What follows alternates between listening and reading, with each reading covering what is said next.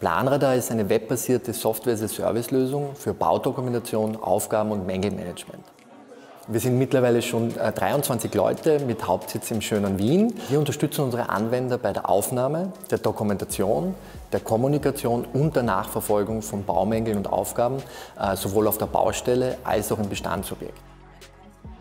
Also 2017 war ein wirklich wichtiges Jahr für uns. Wir haben über 1000 Neuregistrierungen jedes Monat geschafft. Wir haben über 1000 Neukunden mittlerweile auch und wir sind in über 23 Ländern dieser Erde aktiv. In meinem früheren Job als äh, Bauleiter musste ich sehr aufwendig mit Papierplänen oder Fotoapparat äh, die Schäden erfassen. Heute geht es viel einfacher mit Planradar. Man hat einen digitalen Plan auf einem mobilen Endgerät, verortet den Punkt und sendet es sofort der zuständigen äh, Person mit allen Fotos hinterlegt, die notwendig sind zur Abarbeitung.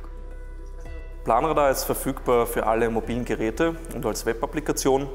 Unsere Kunden, die hauptsächlich Architekten, Facility Manager oder Ingenieure sind, erstellen Projekte in der Webapplikation, laden digitale Pläne hoch und unser System verteilt dann automatisch diese Pläne äh, auf die mobilen Geräte.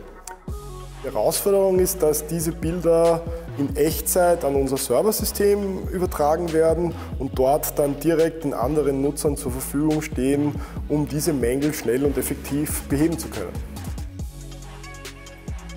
Durch diesen optimierten, reduzierten Workflow sparen sich unsere Benutzer bis zu sieben Stunden Arbeitszeit pro Woche. Als Finalist des PropTech Innovation Awards sind wir mit Union Investment in Kontakt gekommen. Äh, mittlerweile laufen die ersten gemeinsamen Projekte und der Award war auch deswegen für uns wichtig, weil wir sehr, sehr viel Visibility in der Immobilienwirtschaft bekommen. Also mittlerweile ist es auf vielen Baustellen so, dass wir ähm, als Marktstandard gesehen werden und der Bauleiter einfach davon ausgeht, dass Planer da überall benutzt wird. Ja. Und äh, das freut uns natürlich und macht uns auch sehr stolz. Die Bau- und Immobilienbranche beginnt gerade erst zu verstehen, welche Potenziale die Digitalisierung birgt. Genau da setzen wir an und wenn wir die aktuelle Unternehmensentwicklung beibehalten können, dann werden wir in den nächsten Jahren international das führende Unternehmen im Bereich Digitalisierung der Bau- und Immobilienwirtschaft sein.